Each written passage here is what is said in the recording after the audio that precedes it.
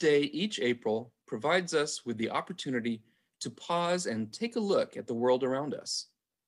As part of the library's celebration of Earth Day 2021, Maria Carrillo and I are going to share with you the background of some of Redlands' early parks, as well as tree planting festivities. If you have questions during the course of the presentation, please submit them using the Q&A button in the meeting toolbar on your screen. We'll do our best to get to them at the end of the program. For those who are familiar with Redlands at any point in the last, say, 80 years, you know it's a beautiful community with lovely trees, enchanting parks, and well-maintained front yards. But the landscape we know has literally grown over more than 125 years. For those who came in the 1870s, 80s, and 90s, the East Valley was largely undeveloped California chaparral. It was these pioneers and those who followed who worked to transform the landscape into what a 1914 publication called the Radiant Garden Spot of California. Now, you're probably thinking, the Smiley twins again? But the story of twin brothers Albert and Alfred Smiley and their impact on the evolution of Redlands cannot be overestimated especially when it comes to the natural environment.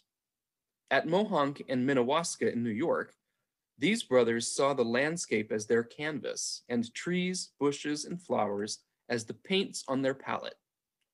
Having transformed those places, when they came to Redlands, they embarked upon a similar endeavor. In 1890, they began construction of their winter homes on tracts of land at the southwest corner of Redlands, where San Timoteo Canyon reaches the San Bernardino Valley. Eventually, the estate would be comprised of some 400 acres of land. Along the crest of the hill, with the canyon on the south, they built miles of roads and planted an incredible paradise they called Canyon Crest Park. Even though their estate was privately owned, they opened their park to anyone who wanted to visit. This literally put Redlands on the tourist map. So let's take a quick look at the park, which you can see in this aerial photograph from 1930. Here's the boundary of the property they owned. And these are the major points. There were three entrances to the park. Furthest west was the Crest Road entrance nearest the intersection of Cypress Avenue and Terracina Boulevard. The main entrance, because it was closest to town and the most southwest corner of the streetcar line, was called Glen Road and was near the intersection of Serpentine Drive and Highland Avenue. The third entrance was at the southeast corner of the park, where Crest Road met the intersection of Serpentine Drive and Sunset Drive. The brothers completely manufactured their landscape by grading for roads which were designed to show vistas of the valley and canyon, and imported thousands of species and cultivars of trees, shrubs, and plants. And thanks to water supplies created for Redlands by Frank Brown and others, they could watch their canvas grow and change. Each built a home, here is Albert and Eliza Smiley's home at what would be the top of Sunnyside Avenue today. And Alfred and Rachel Smiley's home at the top of today's Drake Ridge Crest. But now let's take a trip into the park, starting at the entrance in the top right near Highland and Serpentine. Here's the scene that would have greeted you somewhere around 1910 on Glen Road. As you come in, you'd see a sign like this. Notice, private grounds, automobiles are not permitted in this park under penalty of law. Glen Road was beautiful as you came in. Eventually, you'd meet the intersection with Winwood Road, but you'd probably follow Glen uphill on the left. As you continued on, you'd eventually find yourself on Upland Road or Crest Road. And suddenly the vistas would make themselves manifest. Approaching Albert and Eliza's home from the east side, the plantings became more manicured and formal. The walk up to the home, lined with blooming flowers and lush vegetation, stunned visitors. You might even have come across AK with his clippers among his flowers.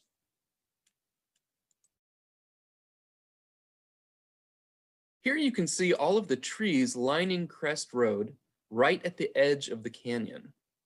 There were several notable spots along the way, like two reservoirs, which they named Mirror Lake and Geranium Lake. Thousands of postcards depicting the lakes were sent around the world. And were a highlight for tourists. As you might imagine, the views were spectacular, and these small gazebos, which locals dubbed spooners, dotted their landscape to provide a place to rest and enjoy the beauty all around, whether it was overlooking the San Bernardino Valley or San Timoteo Canyon. In 1898, Mayor Fowler commented that the beauties of Canyon Crest Park have been praised these many years by appreciative tongues, and many a sad heart has been brightened, and many a thoughtful mind gained new inspiration. Children have danced in the sunlight and flowers, and all have loved Redlands because of Smiley Heights. Not content only to provide the community with Canyon Crest Park, Albert K. Smiley also saw the need not only for a library, but for a public park. At the dedication of Smiley Park in 1898, AK remarked that, I noticed there was no place near the town accessible to the public where our citizens and the many strangers and health seekers that come hither could enjoy a quiet walk in the midst of trees, shrubs, and flowers, which flourish in such abundance in variety in this splendid climate. Nearly two and a half years since, I began the purchase of lands for a park and have, with much effort, secured from 15 different parties a suitable tract near the heart of the city and have planted it with the choicest trees and shrubs that could be procured. This park will, I hope, in years to come adorn the city and bring comfort and health to those who are so fortunate as to settle in our midst. At the time of its dedication, Smiley Park stretched from Grant Street on the west to Cajon Street on the east. Of Smiley Park, Mayor Fowler said, a gift so full of beauty and blessings for the future a beauty and blessing that will grow with the years that are to come. The park for beauty and pleasure, where the weary and feeble stranger who may come here to this sunny land to regain health, and where he may enjoy the quiet retreat and shade of the beautiful trees where the birds will sing their joyous notes of praise. Not only will the park be a pleasure and blessing to the stranger who may come to us, but to our own people, the poor as well as the rich, may enjoy its beauties. In 1900, Albert and Eliza Smiley added yet another section to the park, creating Parkwood Drive with Grant Street on the east. So let's take a look at Smiley Park, beginning with the park entrance on Cajon Street next to City Hall. There's the YMCA City Hall building with the park entrance marked by the stonework on the right. Walking through the park toward 4th Street revealed the magnificent AK Smiley Public Library. At the intersection, turning around is the same section of the park, but looking northeast from 4th Street. A corner of the YMCA City Hall building peeks through the trees on the right. Southwest at 4th is, of course, Smiley Library. And we know this photo was taken after May 1903 because the bust memorializing President William McKinley is in its original location, where the east end of the library's reference wing is today. Through the park to Eureka Street, looking back toward the library, the road continued through the park. And here we're at Eureka Street looking west, with President McKinley in his second location, moved to make way for the library's first expansion. Barely visible in the far side of the image are the rooftops from houses on Grant Street.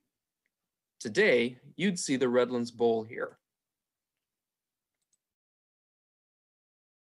But early on, Albert Smiley envisioned this section of the park as a cactus and succulent garden, and he imported diverse and rare species from all over the American Southwest and Mexico. Tourists especially enjoyed seeing the exotic plantings. Eventually, the section of Smiley Park between Eureka and Grant Streets was almost completely cleared to make way for the municipal amphitheater, later dubbed the Redlands Bowl. Let's take a quick look at the 1900 Park Edition, which created Parkwood. Smiley purchased this entire block at the same time he was assembling the other parcels for the park, but chose to hold off giving this section for two years. He designed the park and subdivided with new residential lots surrounding it.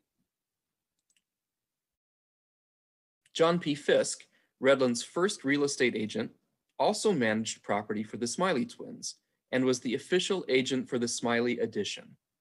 In early 1900, he was tasked with selling the residential lots, and their location on the park was a prime selling point. In real estate, there is always healthy competition, and even Redland's co-founder Ed Judson got into the frenzy, advertising that he should represent buyers for lots in the new tract. More than 120 years later, Smiley Park is a testament to Albert Smiley's vision of a centrally located park for everyone to enjoy. Hey, so now I will be talking about a couple of other great parks that we have in Redlands, beginning with Sylvan Park. So in January 1911, Redlanders voted to approve $80,000 in bonds for the creation of two new parks in the city, a playground on Lugonia and Orange Street, and a municipal park near the newly built University of Redlands.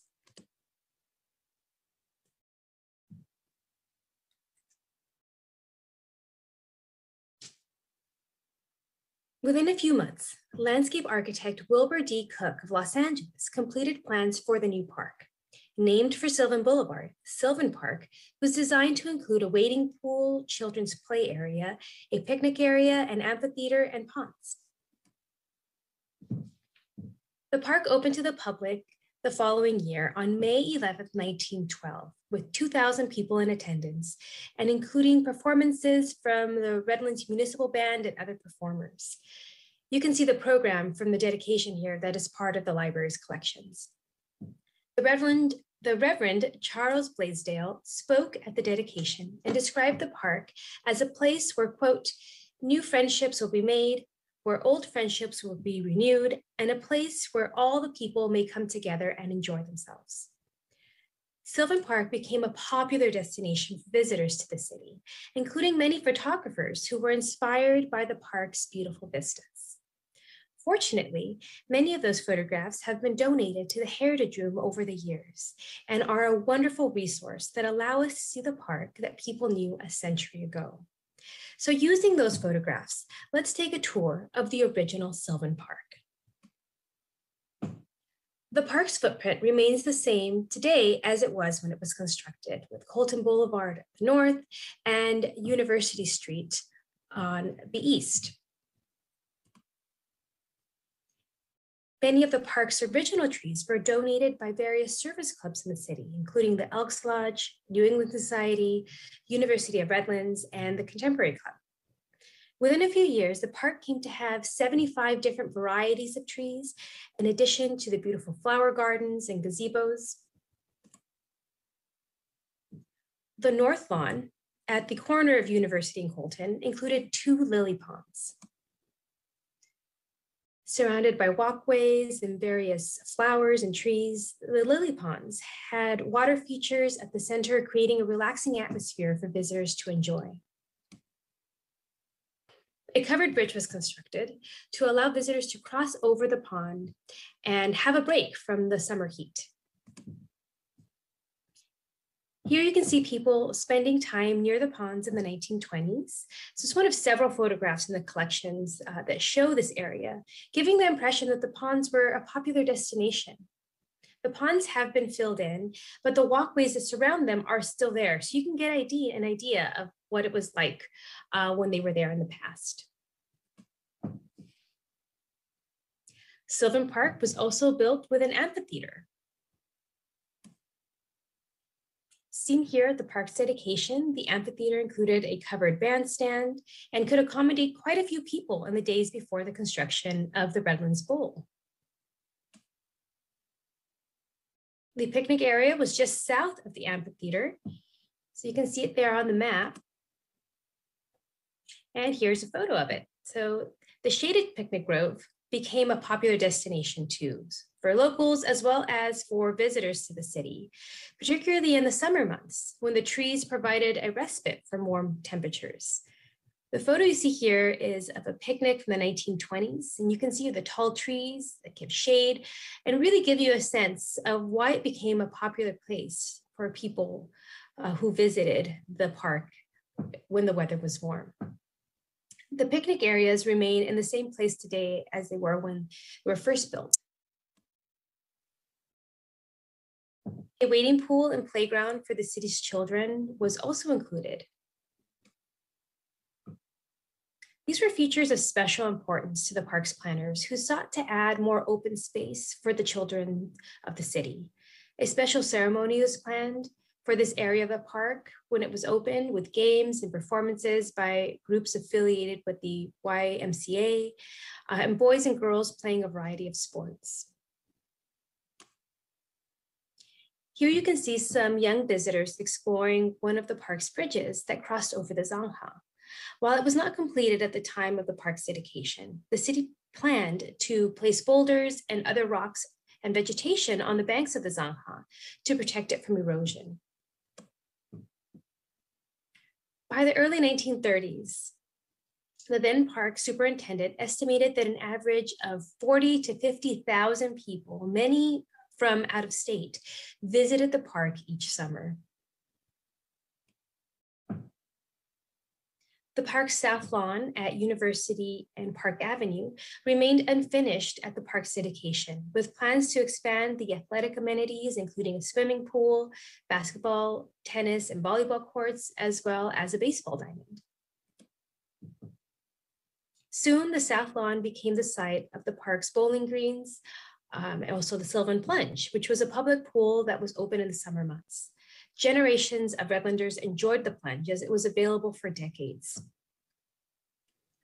Among the groups who donated trees when the park was constructed was the New England Society, who gave 15 trees to Sylvan Park and donated trees annually to various parks and schools in the city. The photographs you see here show the group as they planted trees at a couple of different sites in Redlands over the years. This photograph shows a group as they commemorate the planting of an elm tree in Smiley Park on Arbor Day, March 7, 1910. The tree is actually still alive 110 years after, after it was planted. And here you can see it today as it stands on the east side of the Lincoln Memorial Shrine.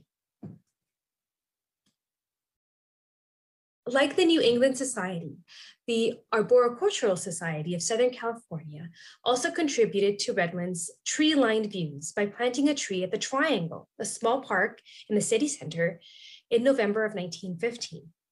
Among the individuals present at this occasion was Jenny Davis, who was an early Redlands resident who worked to improve the city's aesthetics. She's pictured here on the left with the black hat. Jenny Davis is, of course, known to us today as the namesake of Jenny Davis Park on Redlands Boulevard. As some of you may know, the area where the park was constructed was not always as inviting as it is today. In fact, it was originally the city's dump, known as the Glory Hole, which you can see here. Used for waste as early as 1892, the site presented problems long before the plan to convert it into a park, with residents complaining about the smell for decades.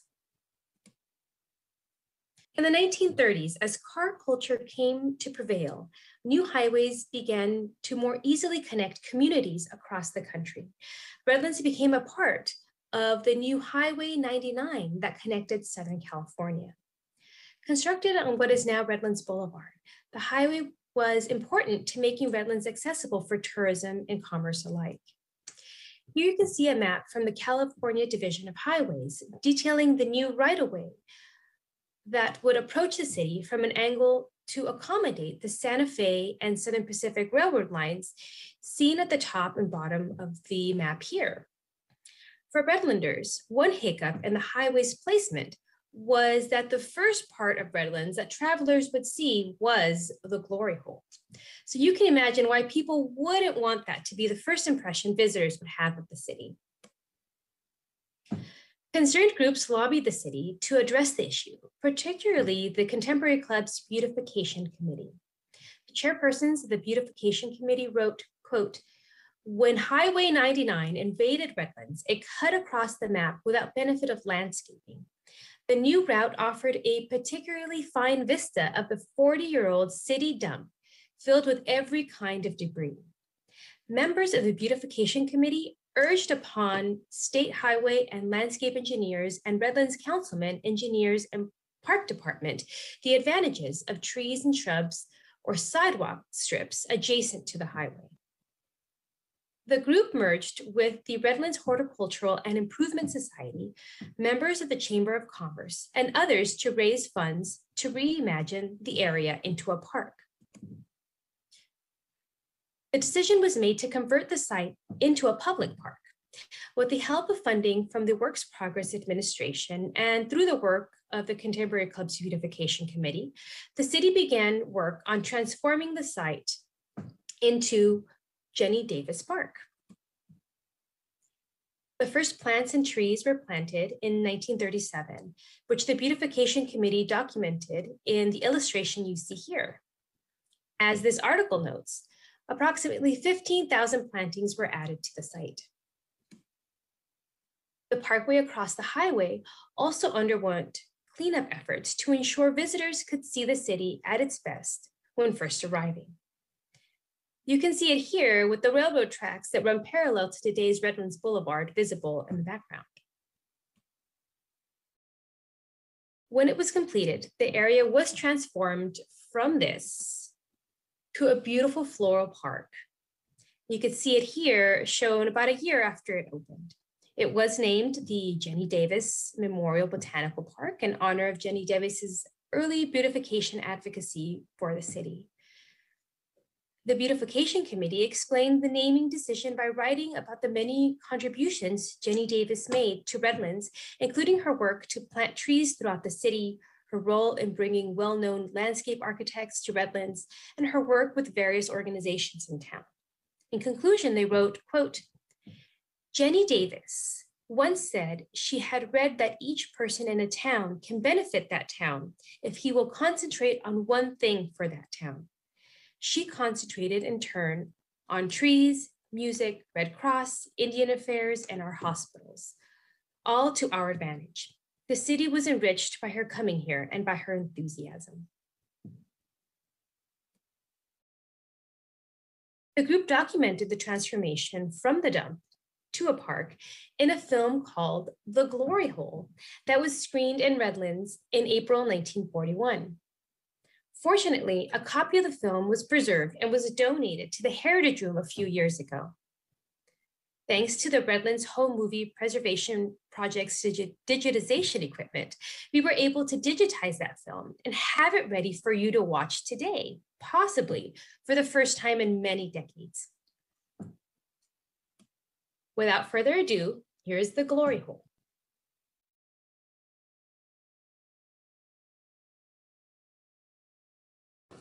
One of the things that I really loved when we were watching this for the first time as it was being digitized is that it's all in color, which is really remarkable for beginning filming in the late 1930s and then into the very, very early 1940s, uh, especially at the end of the Depression. The two co-chairs of the park were for the beautification committee of the uh, Contemporary Club were Belle Dibble and Edith Finlay, and we think this might be one of those two women. Unfortunately, it, it was a completely silent film and there was no script or anything like that that was left for it for us to totally understand what they're doing. But clearly, uh, this person is detailing what the transformation was. Um, so if anyone recognizes any of the people in this film, please do not hesitate to let us know. We should also mention that this is actually an abridged version of the entire film, um, just for time for this morning. But if you'd like to see the film in its entirety, just let us know here at the Heritage Room.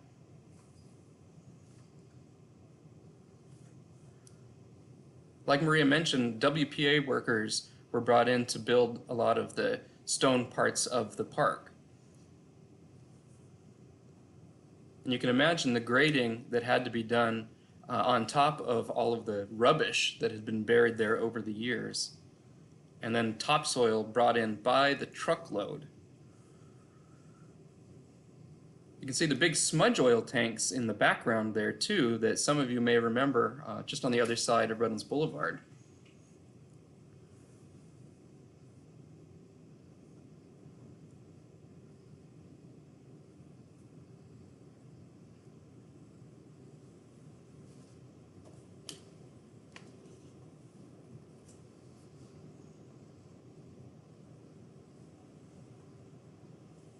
There's some of that topsoil coming in now.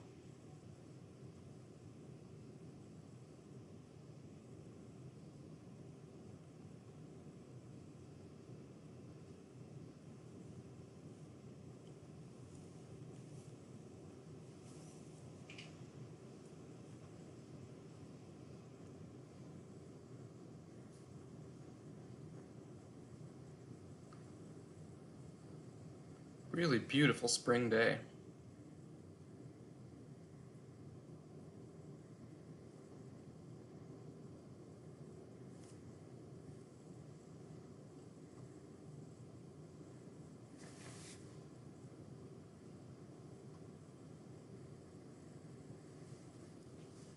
This is really showing the transformation. So they started the plantings in 1937 and the work continued throughout uh, 1938 and then early into 1939. So you can see um, really how it did transform from what it was before.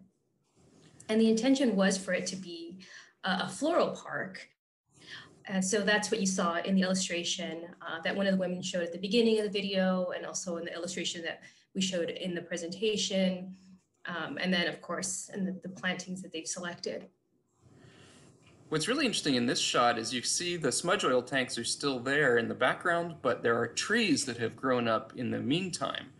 And that was also a project of the Contemporary Club's Beautification Committee, because they don't, I don't think they wanted the uh, tourists who are coming through Redlands to be faced with those massive smudge oil tanks. So they tried to shroud them with trees.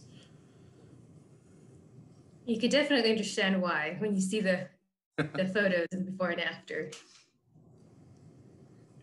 Here we've got a group of, I suspect, Boy Scouts uh, working on a project at the park. Maybe someone in the scene is watching. That's true, yeah. I mean, it's amazing to have this footage uh, in, in color like this.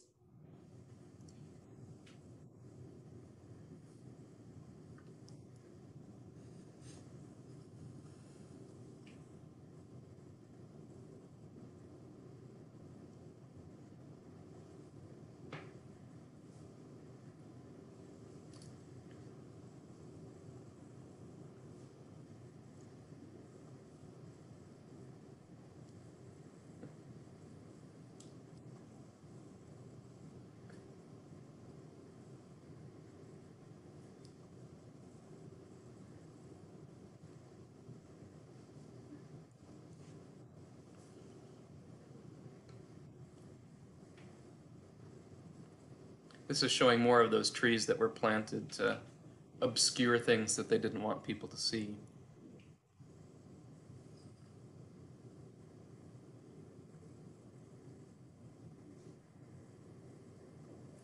This is a great little section because it runs down the highway and I, I think this is probably was to demonstrate the beautification committee's work uh, hiding the, the railroad tracks and some of the other more industrial um, parts of the city there. So this is driving east and coming up to the intersection at Texas Street.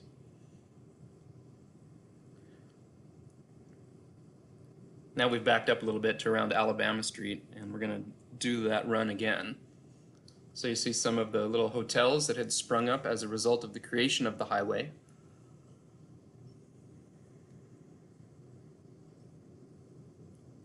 Coming up to Tennessee Street here.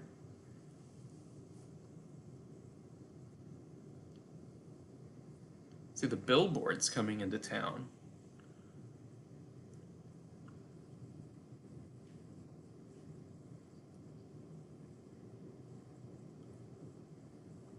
Now we're approaching New York Street, and you can see the Redlands neon sign that has recently been restored by the city right there on the right.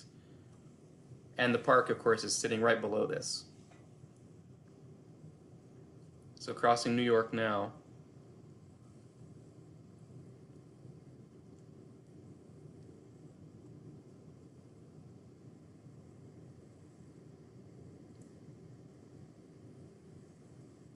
the Wigwag crossing at Texas, which as a trained person made me very excited to see.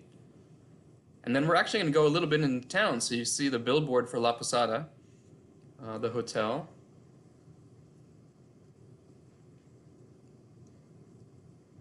Then actually coming in toward downtown.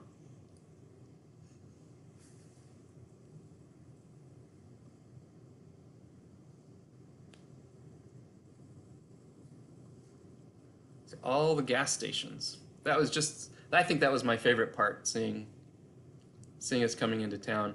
Here's a contemporary club picnic in the park with their spouses.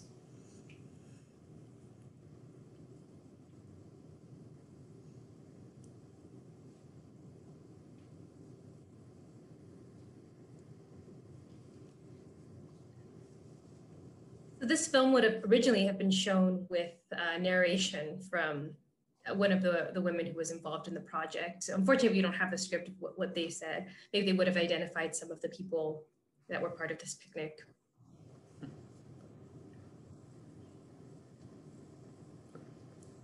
This is just such a great document uh, that we're able to share, and that's a very exciting thing.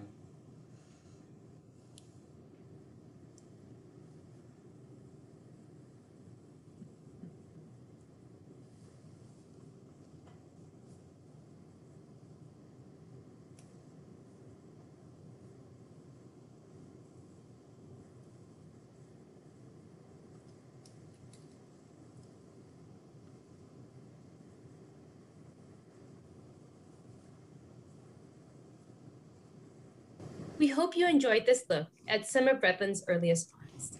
To learn more, check out online exhibits focusing on parks and the city's historic observations of Arbor Day, which you can find on the Heritage Room's webpage at www.akspl.org/hr.